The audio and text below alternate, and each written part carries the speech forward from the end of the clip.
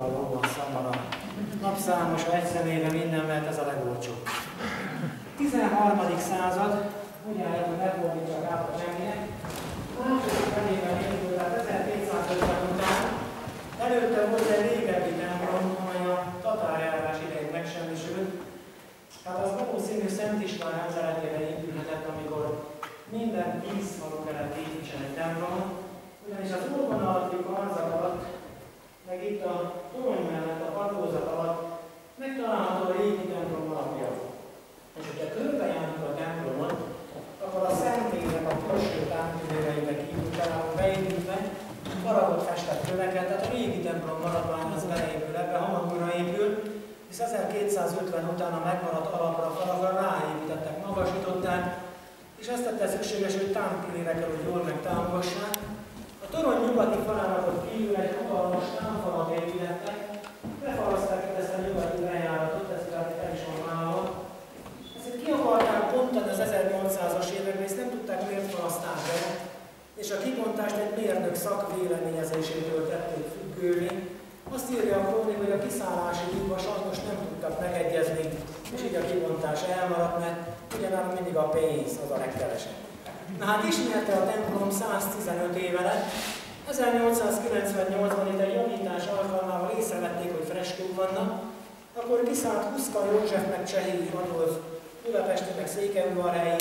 Ketten földárnak lefényképezték, ismertették, tehát 115 éve vannak földárva, és a tavaly jött el a szebb amikor 5-6 falkép restaurátor itt májustól szeptember végéig dolgozott, úgyhogy most már készen vannak a konzerválták őket, csak nálunk mindent fordítva csinálnak. Ugye?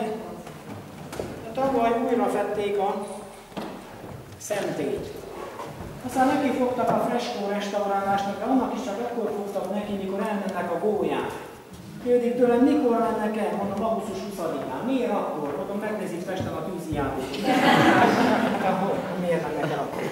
Na és akkor ugye neki fogtak, és ezt restaurálták, konzerválták, de az idén neki fogtak a hajót fedik újra, most már újra is vették meg, és le kellett védeni, hogy el kellett takarni, a nem rá. Na, úgyhogy úgy tartják nyilván, mint Udvarhelyszék egyik legértékesebb műemlék templomát, ez azt jelenti, hogy egy a sok közül, mert sok van a vidéken, na de ekkora terjedelemben freska a környéken nem nagyon található, ezért érdemel csak olyan több figyelmet. Három van belőle, Szent László legenda az a legfelső. Antiókész Szent Margit legenda az ablak alatt, és a legalsó az utolsó ítélet jelenete. Kivonulás az első kép, a várati már látható előttünk, a vitézek fújják a harsonát. A fehér süleges a vállalati püspök megállja a fehér logorőről Lászlót, aki vitézével indul a csatába. Szent László, mint a elköszönnek, megemeli a koronáját. Majd az északi falon folytatódik egy csata jelenet látható, Cserhalmi ütközet vagy Kerlési csata néven szerepel a történelemben, mikor a kunokkal harcoltak. Cserhalom az itt van Erdélybe, Besztercen Aszód megyébe. Jó néhány évvel ezelőtt a Csíkszeredai Julianus Alapítvány kezdeményezésére engedélyt kértek, legalább egy sírkövet állíthassanak az ütközet színhelyét. Meg is engedték, csak mivel fölemelkedett, két 9 méteres emlékoszlop lett belőle. Aztán lehet, hogy árnyékot vetett a más nyelven beszélő testvérekre. Ugye? Akiknek mindig habzik a szájuk, mikor a magyarok Erdélybe valamit felállítanak, például hallottak a szabadságszobor körüli herce hurcáról, hogy akkor itt volt Dávid Ibolya intézkedett, mert Cserhalomnál nem volt ott.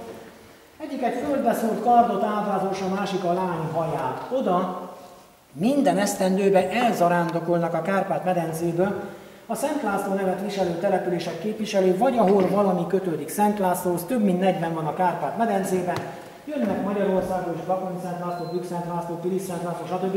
Inkább a polgármester urak szoktak jönni, és nekik több az idejük. Aztán egy kislányt a nyerekbe kapnak, a vitéz meg utána nyar egy kicsit kardóznak, és utána folyik a boros, a páliska, nagy nemzeti zűlés követi, és egy-kettőre jó kedve kerekednek a magyarok, hisz a pálinka hamar meglátszik rajtuk. De látszik az öreg székelyen is pedig annak van hozzá gyakorlata. Délbe elbogarászott otthonról, este nagyon későn érkezik zsimbel az asszony, te hol a fenébe voltál? Azt nem látszik, menjek vissza. Ez is Mi? A leányra pont üldözi Szent László, tehát a mindenre magyarok üldözik, nyilván, hogy leányok szólálnak a A szép lányok voltak, akár csak a magyar lányok, ugye nem csak, hogy ellopták őket, nálunk még most is ellopják. Esküvők alkalmával a mennyasszony. Na itt történt ebbe a falu egyik alkalommal, mondják a vőlegénynek, te vigyázz, mert ellopják a mennyasszony, azt semmi gond. Hogy, hogy? Azt csak az első villanyoszlop alá viszik, mikor meglátják, hogy egy csúnya, abba elronthatják. Na, itt pedig a leálló kunküldözi Szent László, a kunok menekülnek, hogy a magyar küldözi kilaznak, itt pedig a kun üldözés, ez egy látható lovas látok ráborul a sörényére. Katolikus templom volt, mint minden templom itt a reformáció koráig, 16. században a falu református lett, és a reformátoroknak volt idézőjelben szép érzékük, szépen lemeszelték hófejjel az egészet, Isten ígéjére figyelnek, a szenteket nézegessék, ide meg ablakot vágtak, hogy legyen világosság, de nem lő nagy világosság, mert ex oriente lux, ugye keletről a világosság. Hamar észrevették onnan, semmi jó nem jön, csak szásáig, aztán így lettünk nyugat felé kacsingató keresztények. Na de ha több időt töltenek Erdélybe, akkor észreveszik, hogy a székelyek azok éjszakról is meg vannak világítva, és valahol látszik is rajtuk, vagy a csavaratos eszükön, vagy a jó humorérzékükön. Kell még ide jönni? Igen. Nem olyan régen történt humoródon, ismerős a név? Igen. A lovas panzión erről folyik az ásványvíz, mi borvíznek mondjuk, mert azzal rontják el a bort. Ha már réges régen megmondották, hogy a szerelmet házassággal a bort vízzel nem szabad elrontani, tehát amit az Úristen szétválasztott, az ember ne egyesítse. Persze, hogy elrontsa. Na, tölti a Székely bácsi a Pille palackot, megállt egy budapesti autóbusz kirándulókkal, leszállt a pesti nagyságos, az ördög odavitte az öreg Székelyhez. Azt kérdezi tőle, bácsi, mondja meg őszintén maga mindig ezt, issza. Az öreg fölegyenesedett, egyet pödört a bajszán, vágott egyet a személyeszet. Isten őrizzen lelkem, csak amikor szomjas vagyok. Nem is kívánja a vizet, meg sincs ilyetve. Múltkor meg a Szejkénél történt egy hasonló eset, ismeri? Székelyudvarhelyről. Menjünk át Koron Szovátának, ugye? Valamikor Székelyudvarhely lakosság azt a vizet itt a cserép korsóba, bivajszekérre hordták, minden kapelé letették, tölti az öreg székely a maga edényeit, Megáll egy magyarországi atyánk fia, szomjas volt, szegény, oda a tata, ad egy kis vizet, hogy ne lelkem, itt van, tessék, húz meg meghúzza, kiköpi. Azt mondja, pű, micsoda petróleum íze van ennek, ha hogy ne lenne lelke, mondja az öreg, mi ezt a lámpásba visszük. Itt a déli bejáratnál itt szoktak játszani délután a gyerekek. Jön egy atyafi, az is szomjas szegény, azt mondja az egyik gyermeknek, te gyermek ott abból a kútból lehet én, azt a gyermek nem. Hát te miből iszol? Azt a csuporból. Nem csak Úgyhogy tudunk koncutkodni, örömünkbe bánatunk. Itt pedig a párviadal jelenet, amikor nem csak Szent László a kónnal, a lovak is viaskodnak, egyik kék lábrá rúgja, harapja a másikat. Az utolsó jelenet, ez a párviadal jelenete, ugyanis Szent László kiáltja a lánynak, ráncs le hukon magaddal a nyerekből a kunt, ugye viaskodni kezdenek a küzdelemben, a lány is besegít, Hát végül is ugye a kunt legyőzik, a lány megszabadul, és összeborulnak, mint a káposzta legyen. Na de ez a pár viadal a lánynak a kezébe, ott látjuk a kardot, de a Székelydersi templomban érdekes, a, a pihenés jelent, ahol azt mondják a művészet történészek, egy nagyon meghitt, bizalmas jelenet, a lány így beletúr Szent László hajába, fejbenézésnek is mondják, de volt, aki azt mondta, bizonyára tetvészi. Na, de múltkor itt volt egy másik művészet történő csoport Budapest, és azt mondták, aki ilyet mond, az nem magyar ember. Hát jól tudjuk, főleg Budapesten elég kevés van ugye belőlük. Már jó magyar emberből, de a jaga az el szokott jönni hozzánk is. Mi is úgy vagyunk, innen is már a színe elment, a jaga az itt marad. Minden nagymenők a malaca már Budapesten röfög. Közben az én lányom is otthon kell, oda vagy székel, mert Isten őrizzen soknak milyen nemzet tudata. Na, az ablak alatti részen Antinókiai Szent Margit legendáját találjuk, arról szólnak a koronás hőnek megtetszik Margit, aki nagyon szép lány el akarja venni feleségül, vitézével a színelét idézi, majd egy női alak látható Margit nője, aki keresztény lányként neveli Margitot, és ezért Margit megtagadja a pogányra való házasságot. Nevelőnő mellett áll, és tagadólag itt fölemeli a jobb kezét, pogányhoz egy feleségül, ezért a Hozókhoz öltözik és megformácsolják, majd fogóval tétjük a húsát. Az ablak alatti részen a várfalról levetük a nép, a király meg a bálványozók előtt imádkozik, majd börtönbe vetik, ahol tüzes fogóval kihozzák üsbe főzik, de közben mennyei segítségét, ez például látható fenn. Két galamb hozza a fejére a koronát, itt meg azok a lányok, akik látnak kitartását, leborulnak előtte, imádkoznak. Egyik kínzója is megtér a börtönbe, másik lefejezi. Majd a sárkányjal viaskodik, két kereszt van a kezében, ott már azt látjuk, hogy legyőzés, rátapos, még a legutolsó jelenetben a glóriás fő egy pallós ütésére aláhult, Tehát aki itt ül ezen a oldalon, még látja a kéz, amely a ballós tartja, összetett és a fej, ahogy leesik, tehát végül lefejezik. 1967 mikor az északi falon ennek a reformáció korabeli karnaknak egy része eltakarta a freskókat, a gyermekek kezdték már restaurálni, és akkor az elődön fiaival átköltözött erre az oldalra, tehát ide volt a karzat, gerendái, a szürke foltok. Legalsó az utolsó ítélet jelenete középen a trónoló Krisztussal. Ott a szélén Szent Péter megnyitja mennyei Jeruzsálem kapuját, és egy angyal vezetés előtt lát a püspök király, királynő, férfi, egy nő, bevonul a mennyei dicsőségbe. Gondolom Szent Péterről az is úgy mindent hallottak. A székely asszony is oda került erejébe, egyszer csak oda kerül mindenki. Azt kérdezi tőle Péter, te csaltad-e meg a férjed? Azt mondja, nem, soha. Hátra kiállt Péter hozzátok a szárnyakat, azt mondja, angyal leszek, azt mondja, nem lelkem, liba. Azért nem olyan jó sem. Hallott a föltámadáson, angyalok kell a valóság koporsó felének, hogy a föltámadnak, az angyalok segítenek, kijelnek, felnyitja a koporsó fedelét. Krisztus jobbján, balján fönt két angyal, ezért megsemmisítik a kalszat keretelnek van, apostolok, hajó, kígyó, boldagabb, köpönyeges Mária, szintén ő, meg János, és itt Krisztus mandorláján egy székely rovásírás található, ezt körülbelül 60 éve fedezték le, fejtették meg. Nagyon gyengén látszik már, és tudjuk, ez az újabb nemzedék, ugye nagyon jól megtanult olvasni. Nem tudom, a tévé vagy a számítógép előtte, de úgy olvasnak sokan, mint az első osztályban. Megnyalták az újuk pedig, aztán ügyesen így kibetűzték, magyarul lenyalták. Pedig Hegedűs Lórán püspök azt mondott egyik alkalommal, nem veszhet el az a nemzet, mely ilyen utódokat nemzet. A fene tudja, miket nemzet ez a nemzet, de azt mondják, egyharmada nem érti, mit olvas. A többi meg sajnos nem is olvas, ugye? Nem csoda, hogy náluk is halomra buknak az érettségi. Ugye Szent Mihály Szabó Péter meg azt mondta, adi népe, adióta, idióta. A rovásírásnak kétféle megfejtése van, az egyik megfejtés adja Isten. Sokan nem tartják helyesnek, hogy van semmi értelme ráírni Krisztusra, és különben is két művészet történész mikor tud megegyezni, akkor egyik székely egyben a másiknak. Jó, hát egyik okosabb, mint a másik, vitatkoznak is szépen. A másik megfejtés Agyai Estúán, magyarul Agyhai István. Agyha az egy koront fölötti egy onnan származó István nevezetű művész festhette ezt a 14. századra teszik, nem egy ember festette. Korondon jártak-e? Ha hamar észreveszi, aki arra felé jár, hogy hol van ma az egész falu piac, és amiben magyar bolondítani lehet, ott minden kapható. Fütyülős madárka, tapló, sapka, tulipános, baseballütő, cserépről ne is beszéljük. Azt mondják, akkor lesz világ vége, mikor minden korondi hazatér. Állítólag ezek már a Holdon is ott vannak, árulják a cserepet. Biztos Amerika is kapott tőlük az űrbe. De elég az hozzá, hogy az ottani falvak elnevezéshez egy mondva kapcsolódik, hogy annak idején Firtos urunk nem messze a Firtos vár, amikor osztotta az örökséget, ugye összegyűjtötte a fiait, és azt mondta, na fiaim, szólok ma, lett ott egy falu, szólok ma, Tovább mennek, mondja, én lakom, hát ebből lett én lakom. Még mennek egy kicsit, fiam, ez a tiéd, ebből lett etéd. Mennek tovább, mondja a másiknak, itt is van egy kis mód, ebből lett küsmőd, és a legkisebbik kétségbe esve, hogy neki nem marad semmi, azt mondja, atyám, agy, ha marad valamit nekem is, agy, ha innen származik, agy, ha István. Jó humorérzékű székely bácsika lehetett, hál' Istennek legalább ennyi nekünk megmarad, hogy valahogy kibírjuk ezt a csodálatos demokráciát, meg ezt az uniót. Ugye múltkor megkérdeztük Balogh Zoltántól, meddig tart ez az unió? Azt mondja, remélem nem tart sokáig, mert a magyarok vannak, azok szétverik. Na hát, Krisztus baljának távozottak vannak, Szent Mihály Arkangyal egy hunsüveges vitéz, kilenc mezítelen nővel betaszít a léviátán szájába, ott az ördög, Kettős kötéllel behúz ezt a kilenc tyúkot csak akast, akik előbbi jó magaviseletükért elnyerik a méltó jutalmat.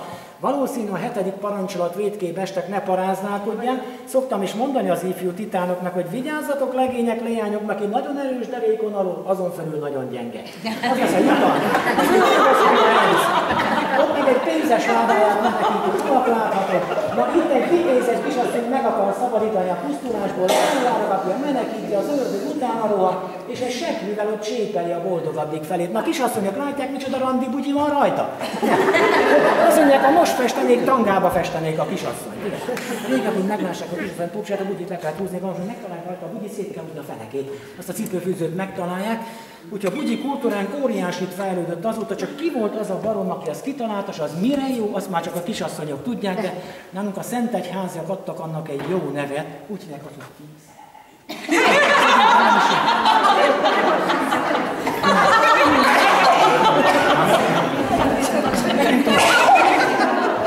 Szent Jézus Veronika kendője, Tovább, hogy mi van, ezt még az okosok nem mondták meg. Nekem rengeteg van belőlük Budapesten, ezek művészet történészek, és egész nyáron itt csaholnak, de télen egy se jön. Pedig mondtam neki, karácsonykor még illene jönni, mikor legalább mínusz 25 fok van a templomban. Három napig olyan szívesen bezárnám hogy vitatkozzanak, nem, nem jön egy se. Útkor megjártam a kapu előtt, megállt egy autóbusz, és leugrott egy nő. Kiabál, ugrándozik, integet, művészet történészek vagyunk, mondom, jó, van, na rendben. Honnan? Hát Budapestre, hányan vagytok? Éppen ötvenem, külj a betyár életet. Betelepettek ide, és én megkérdeztem, mondják meg őszintén, dolgozik-e még valaki Budapesten, mert mindenki doktorál művészet történetből, olyan pofákat vágtak, nem igaz. Egyiknél annyira meghatódott, hogy sírni kezdett. Hát mondom, itt tessék sírni, hát mi minden nap viccelődünk egymásra, de mi úgy tartjuk, viccelni csak okos emberre lehet, a hülye megharagszik. A pillanatban felszáradt a könnye, majdnem a nyakamba ugrott, azt hittem lever a lábamról. Na azóta jönnek ide csőstő Pap Gábor, többieknek van a fejünkben, sőt, még igen sok van. Vele lehet mozudkodni is. Na, menjünk tovább. Kanzatunk ez már reformáció korán van, ez egy száz mesternek a munkája, aki a vidéken festett kanzatot, és a patronusok neveit találják ráírva, Széki Teleki nő, 1761 és a Boros Jenői Korda család, ők annak idején alapítványt tettek kamatjából évente javítsák a templomot, Persze azóta itt annyi pénzbeváltás volt, és ki tudják még mi lesz, hogy minden elúszott. Ez az egyik atyám fia szerint Romániában két dolog biztos. Egyik az, hogy semmi sem biztos. A másik az, hogy mindent el kell intézni, meg kell kenni ezt a balkánkereket, másképp nem való. Sajnos már a reflexet se úgy nézik meg újabban, mint más tisztességes helyen, hogy az ideggyógyászat térdünkre, hogy egy gumikalapot, rúgjuk le a csillagokat, nem itt idejönnek, csak így csinál, ez az oltján reflex. Jó román reflex, akinek itt ilyen van, megél, a többi csak érdekel. A múltkor Csíkszeredában voltam, ilyen Márton Áron díjkiosztó versenyes, egy katolikus esperes nyitotta meg ott a Dumcsi partit, ugye, és azzal kezdi. Böszeszkú elmegy az Úristenhez, megkérdezi, mikor lesz vége Romániában a korrupciónak. Azt mondja az Úristen, te azt nem éred meg. Erre megkérdeztem, mikor lesz vége itt a tolvajlásnak. Erre azt mondja az Úristen, ezt még én se érem meg. Rendben. Na, Ezeknek örököse és patronusa, a Mikó és az Ugron család, itt nem messze volt egy csodálatos Ugron sírkert, amelyre a TS istálókat aztán ráépítették. Láttuk. Sajnos. Üres istálók. Hát nem, ott megtöltötték egyébben, ilyen műhelyek vannak ott. A templomok ajtaját udvarhelyszék királybírája készítette Borsai Nagy István feleségével, Ecsedi Évával, 1761-ből valós azóta az Árió rajta működik. Ugye nem volt még orosz piac, kínai piac abban az időben, jól megcsinálta Kovács Mester. 80 évet élt az öreg úr, és ide a kiskapu mellé van eltemetve, csak most minden sírkövet kiszedte, reméljük majd vissza is rakják. Úgyhogy szoktam is bosszantani azokat a lehelet vékony pesti kisasszonyokat, akik Norbival úgy tornásznak, viszik el, mondom, legyetek egy kicsi szalonnát, mert különben nem éltek 80 évig, hát sokan úgy jönnek be, mi a röggen képük jönne be a templomba. Szegények úgy ki vannak koplalva, mondom, úgy látszik, Budapesten újabban az a divat, a nők mint fogyókúráznak, a kutyákat meg hízhalják. A hajónak a boltozata ugyanúgy volt kigépezve, mint a szentélynek, tehát boltíves volt. Két okot hoznak föl, hogy megsemmisült földrengés, nem hiszük, de második Rákóczi Györgynek volt egy sikertelen lengyelországi hadjárat, utána nyomban volt egy tatár betörés, és ugyanakkor megsemmisült, és könnyebb volt kazettával díszíteni, mint újra fölépíteni a boltíveket, tehát itt a nyoma még látszik mindenütt, ugye. 1724-ben a Korva családadományából 10x8 kazettával díszítik a mennyezetet, Hát ez is restaurálásra szorul, ezt azt mondta a fa restaurátor, 5-6-on dolgoznak, egy másfél évi munkálat lesz neki, tehát most azzal kezdi, leporszívozza, lekezeli föntről, aztán fölállványozzák, leszedi, elviszi szobátára, konzerválják, javítják, visszahozzák, felrakják. Na, Kérdik tőlem, mikor lesz készen? Mondom, a tavaly cseréltem a személyimet 2072-ig érvényes. Hát, hát. A szószéket akár csak az ajtót udvarhelyszék királybírája készítette, ott van egy fölérat. Ezt a prédikáló széket Isten dicsőségére csináltatta tekintetes Borsai Nagy István, Nemes udvarhelyszékeivel, vagy a királybírája, azon traktusnak és gimnáziumnak kurátora, kedves házastársával, Ecsedi Évával 1747 esztendőben. Két évvel későbbi a szószék korona, ezt levették onnan, hangvetőnek is mondják, itt van a balra ide hátul, Na de ilyet, mint a bögözi református templomban nem lehet látni, hisz általában a pelikán van a tetején, amint így vérével táplálja kicsinyeit, ott van az Erdély Református Egyház címerével és a Magyarország az zászlós bárány, Na de itt a patronus korda Kolozsvárban megmintáztatta magát, és a tetejére az öreg urat, tehát elvitte azt a restaurátor most van. Tehát Korda György vágtatott két angyal között nagyon jól megöli a paripát, aztán nyáron ide rengeteg csodabogár érkezik, komolyan mondom, van egy ilyen 50 tagú női csoport, ilyen visszajáró lelkek. Minden évben jönnek egy hétig, megszállnak innen, kirajoznak, de ezek olyanok, hogy így ölelik a töltfát, szívják magukba az energiát, eszik a füvet, mint a tehén, pénzjátéktel gyógyítanak, mondom, nálunk is úgy, hogy hogy? Hát úgy, hogy szegény betegnek nincs pénze megvenni a gyógyszert, az orvos ráteszi a kezét, vagy meggyógyul, vagy ezt még alkalmazzák nálunk. Ne jöttek ide, Csillagképekbe kezdtek nekem ott mesélni, mit látnak ők a szószék koronát. Mondom, azt mondjuk, nem arháskodjanak, még semmit nem látok abból, amit mondanak. Székely udvarhelyen bementek a Jézus szíve kápolnába, van egy körkápolna, visszajönnek, és azt mondják nekem, éreztük valóságba, feltöltöttünk energiával. Láttuk egymásnak az auráját, meg a glóriáját, meg a búbának, hogy ezek mit nem látnak. Nekem se fontak a számra, mondom nektek csak egy dolog hiányzott. Mi? Hát a feneketekbe egy parafadugó se részt fog, legyen küldeni. Itt kinyitok a főszálltok a rengeteg energiától, Hát a fő sámán asszony itt volt megszállva, nem messze tőlünk itt az egyik családnál, Éjszaka elszabadult a farkas kutya, széttépett egy sündisznót. Reggel megébredt, kiáll a tornácra, a homlokára, és azt mondja, házasszonynak megvan. Kérdi, mi? Az, hogy előbbi életében esestiszt volt a farkas kutya, de mi volt a sündisznó, erről nem nyilatkozott, hanem csak, hogy a ma hónap a hősök terén mindjárt, mint kristnások, elefántok, kínaiak, meg buzik fognak ott mind fölvonulni, az utóbbiak már szépen be is indultak, ugye, csak becsületes, normális, hívő magyar ember sajnos egyre kevesebb van, és ez elég baj, nem csak az ottaniaknak, ez nekünk is nagy baj. A fedeles padokba ültek valamikor a patrónusok, rövid magyar világ alatt a kakastollasok, a csendőrök, akik a jó rendre vigyáztak, mert ha valaki elfelejtkezett volna a nyugalom napjára, hogy megszentelje, kiment a mezőre vasárnap vagy ünnepnap, hú, nem restelették, utána mentek és behozták, megmutatták a helyét a templomba. Ilyen értelemben ma is el kellene belőlük egy jó néhány. Mennyit tekertük összeszednének? Na akkor Orgonánk az a második, hát most el le van zárva ez a rész, hogy ott javítsák. 1846-ból való Szabó János Marosvásári orgonaépítő mester 23. orgonája, most is működik ez a lelkes állat, csak a lelket kell belenyomni. Együtt, de inkább ünnepekkor szólal meg, akkor egy fiú besegít és ő muzsikál rajta, meg különben lógna a nyelve, annyit kell koslassak ott fel meg le. Ezt az elektromos orgonát szoktuk ilyenkor használni akkor alul a templomnak kőpadlózata van, és valamikor három lépcsőfokon jöttek be, és lehet, hogy annak idején valamelyik boldog ősünk nagyobb lépett, mert megesik, hogy az ember elesik, ugye főleg a nyomás alatt van. És akkor elhatározták a könnyebbik megoldást, választák, nem a földet szedték el, kívül megemelték a belső padlózatot, Tölgyfagerendákat raktak keresztül, kővel, téglával aláducolták, lepadolták, itt van egy rés, ott például 70 centi van a két padlózat között, ott mintegy 90, hát azt mondták az okosok, hogy nagyon jó, hogy így van, mert alul nyár a levegő, és nem izzadnak meg a szentek. Tehát a mi szalonnánk se csepegünk karácsonyba egyáltalán. Olyan hideg van, hogy egy óra múlva az úrvacsorai kenyér zuzmarás a tányéron, de mi is azt tartjuk, amit a csíkiak. Csíkban nincs, hideg csak szarember. Így mondjuk. Meg kell öltözni becsületesen. Aki erre a világra való, az megmarad. Olyan hideg van, hogy a kutya a kanyarba télen eltörik. No. Érdekessége ennek a templomnak, hogy ezen még külső freskó is van, az a bejárat fölött van kívül, ott a vakolat alatt ott még velünk együtt várja a szebb.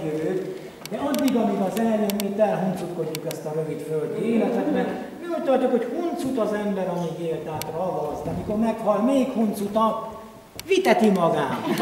Nem is hagyják ki. Amint a skótnak is meghalt egy közeli hozzátartozó, elmegy a temetkedési vállalkozó, mennyibe kerül a temetés? Kezdi sorolni. Aranyozott gyászintó 8 gyászuszára lenni. Van -e olcsóbb? Van. Ezüsözött gyászintó 4 gyászuszára. Ennél olcsóbb van-e? Azt ide figyel magának, ki halt meg. Szóval anyósó. Ha, hozza be, teszek rá négy fogantyút.